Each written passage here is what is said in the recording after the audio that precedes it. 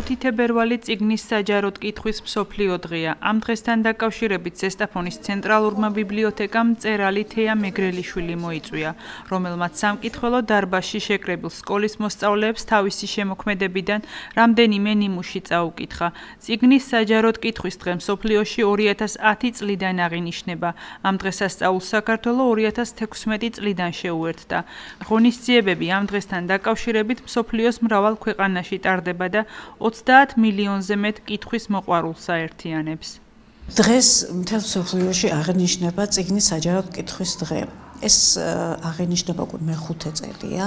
ჩვენ ყოველ წელიწადს გვაქვს სხვადასხვა ღონისძიებები ამ დღესთან დაკავშირებით და დღეს მოვიწვიეთ ჩვენი რაიონის მკვიდრი პოეტი თეა მეგრელიშვილი, რომელსაც აქვს საბავშვო ლექსებიც დაწერილი და მისი ლექსების შესაფერისად იმ ასაკის ბავშვები მოვიყვანეთ სხვადასხვა საჯარო, მეშვიდე საჯარო სკოლიდან, მომავლის ბიზნეს სკოლიდან და ამ ბავშვებთან ტარდება დღეს ეს ღონისძიება. მომავლის ბიზნეს სკოლის პატარა მკითხველთა წრის წევრები დღეს მიგვიწვიეს ბიბლიოთეკაში. სადაც შევხვდით არაჩვეულებრივ ქალბატონს, პოეტს, თეა მეგრელიშვილს. ბავშვებმა მოისმინეს ქალბატონი თეას შემოქმედება, ძალიან საინტერესო იყო დღევანდელი დღე. ჩემი აზრით ძალიან საინტერესო შეხვედრა გამოვიდა და ნაყოფიერი. ძალიან ხშირად ზესტაფონის საჯარო ბიბლიოთეკა მსგავს შეხვედრებს აწყობს ხოლმე და ძალიან კარგია მე ვთვლი, იმიტომ რომ პერიოდი იმ საუკუნეში, სადაც ტექნოლოგიების ზღვარს აღწევს, სადაც ნებისმიერი ინფორმაციის მიღება შეგვიძლია სახლიდან გაუსვლა და ამ ასეთ პერიოდშიც კი ბავშვები დაინტერესებულები არიან ციგნით, ლიტერატურით და მე მგონი ძალიან საინტერესო გამოვიდა დღევანდელი დღე. განქორწინებების რიცხვი საქართველოში თითქმის ყოველწლიურად იზრდება 2015-2018 წლებში მთელი ქვეყნის მასშტაბით ოფიციალური მონაცემებით 38000-მდე განქორწინების შემთხვევა დაფიქსირდა. რაც შეეხება წყვილებს, რომლებსაც განქორწინება ოფიციალურად არ გაუფორმებიათ, მათი რიცხვი გაცილებით მაღალია. სტატისტიკური მონაცემებით განქორწინების რაოდენობით ლიდერ პოზიციებზეა იმერეთის რეგიონი. 2018 წლის მონაცემებით რეგიონში 1700-მდე წყვილი განქორწინდა. რა იწევს ოჯახის დანგრევას და რა ძირითად მიზეზებზე საუბრობენ ზესტაფონში სპექტრის გადამღებმა ჯგუფმა შემთხვევითობის პრინციპით მოსახლეობაში გამოკითხვა ჩაატარა. ფენი აზრით მიზეზი რა არის? რატომ ინგრევა ოჯახი? ახალგაზრდა გოგოები მარტო კომპიუტერი უნდა და მობილური საქმე არ უნდა გაკეთება და ფშკილები გაკრასკე მოაშორებენ მეტი რა საქმე.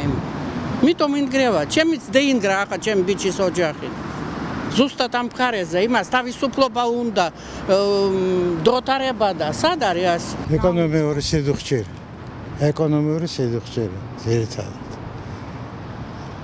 უჭერს ხალხს ნერვები დაწყვეტილია. ჩხუბი ოჯახში გაუტანლობა და იწევს ყველაფერს. განქორწინება თავის დრო არის ყველაფერში 19 წლის მერე შეიძლება. მე ასე ვითვლი იმიტომ მეც მასე გავთხოვდი 19 წლის ვიყავი და მე მგონი 19 წლის აი ეს ეკონომიური ფონიც ხომ არ არის ერთ-ერთი გამომწვევი მიზეზი? ის არის უქონლობა არის ძირითადად ადამიანს როცა უჭირს ოჯახში პრობლემები იმით არის. ევროპიდან უნდა შემოვიყო ჩვენ რაც არის დასაქმები და რაც კარგი კანონები და ისო შემოვა კაცი საქართველოს კაცი და ხალი ჩვენ ვერ ამწყობს ვერ გვასწავლ ვერც ევროპა გვასწავლ ვერც ამერიკა ყველა ვარ თანაბრები. ჩვენ რო ხალის პატივისცემა ის ამერიკაში და იმას იციან ევროპაში ჩვენ ჩვენსაც უნდა ვცეთ პატივი.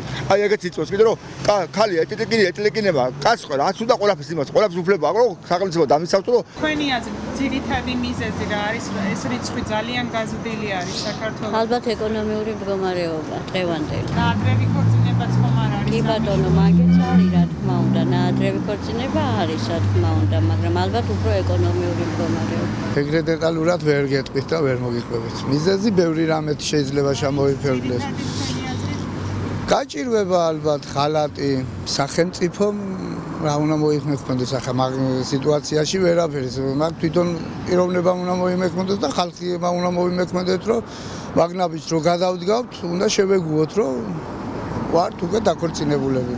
რა ჩემი აზრი ესეთია. ერთ-ერთი მიზეზი ჯერ ერთი სისტრაფია ანუ ადრეულ ასაკში ჩქარობენ. პირველი მიზეზი რაც შეიძლება ეგ იყოს და სხვა რა ვიცი, ალბათ დღევანდელი სიდუხჭირე არ არიან მიჩვეული ახალგაზრდობა. სიდუხჭირეს უნდათ უფრო მეტი და რა ვიცი, ალბათ ეს არის უფრო. ძალიან ადრეულ ასაკში რო ხორცილდებიან. ჩემი აზრით ეს ძალიან ბევრგან შემიმჩნევია რომ ამ დროს ინგრევა ოჯახები. ეკონომიკური ეკონომიკურიც რა თქმა უნდა ერთადერთი ხელშემწყობი პირობა.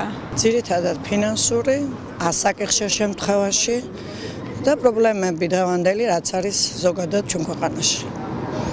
სიტყვით ზოგადად როგორი უნდა იყოს სახელმწიფო უნდა უწყობდეს ხელს ასეთ ოჯახებს განსაკუთრებით მრავალშვილიანებს, იმიტომ რომ ყველაზე მეტად იმათ უჭირს.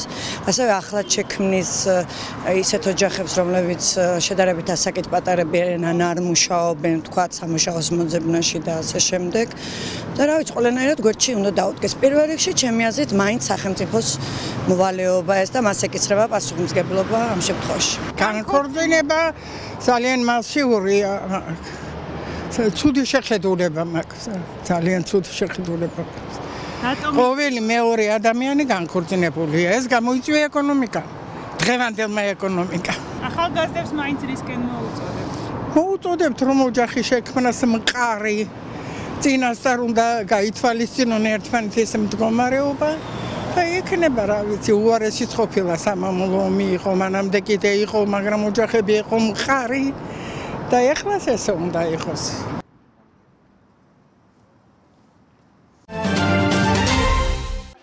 არა შიმშილს, არა სიღარიბეს. მომავლის ბიზნეს სკოლის ეკოკლუბის მორიგი აქცია ქალაქში იმისთვის, რომ მათი განწყობა გადამდები ყოფილიყო და მეტ ადამიანს ქონოდა საშუალება გაეღო შემოწირულობა სხვების დასახმარებლად.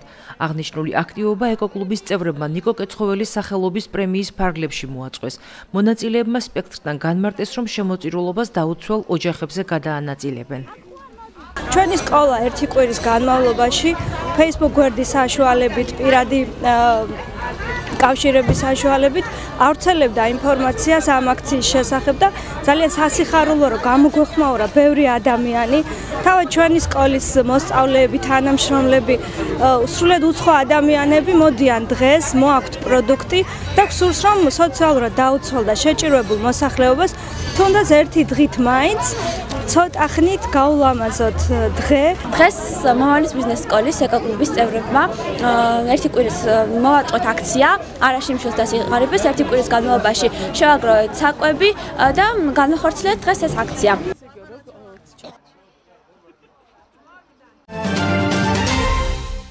სახალხო დამცველი ბაღდადის მუნიციპალიტეტში მომხრა ტრაგედიასთან დაკავშირებით განცხადებას ავრცელებს.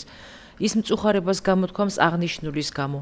სამწუხარო წლების განმავლობაში გადაუჭირო პრობლემად რჩება ბავშვთა სიღარიბე და ცხოვრების არასათანადო დონე. ის პროგრამები, რომელსაც სახელმწიფო სთავაზობს სიღარიბეში მცხოვრებ ოჯახებს, არ არის ორიენტირებული შედეგზე, მათ ინდივიდუალურ საჭიროებებზე და დროულ პრევენციაზე. შესაბამისად, ოჯახების სოციალურ-ეკონომიკური მდგომარეობა ხშირ შემთხვევაში წლების განმავლობაში არ იცვლება. ამჟამინდელი სოციალური პოლიტიკის პირობებში სიღარიბეში მცხოვრებ ბავშვიან ოჯახებში პრობლემურია არასრულწლოვანების თუნდაც ელემენტარული საბაზი საინტერესო საჭიროებების დაკმაყოფილებაც კი. განსაკუთრებულ გამოწვევად რჩება სათანადო საცხოვრებლი დაკმაყოფილება, რაც უკიდურესად მძიმე და საფრთხის შემცველ ინფრასტრუქტურულ პირობებში მცხოვრებ ბავშვიან ოჯახებს უსაფრთხო სტაბილური საცხოვრებლით უზრუნველყოფის საშუალებას მისცემს. ნინო ლომჯარია მიმართავს პარლამენტს გააძლიეროს სახალხო დამცველის რეკომენდაციების შესრულებაზე ზედამხედველობა. ბაღდადში ხანძრის შედეგად დაღუპულებს პროჟექტორიდან დღის მეორე ნახევარში გადაასვენებენ.